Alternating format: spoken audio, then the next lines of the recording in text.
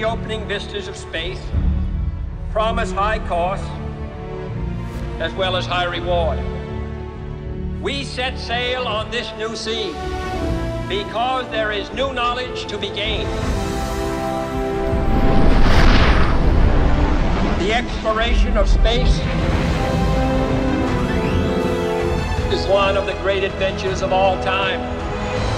And we mean to be a part of it. We mean to lead it.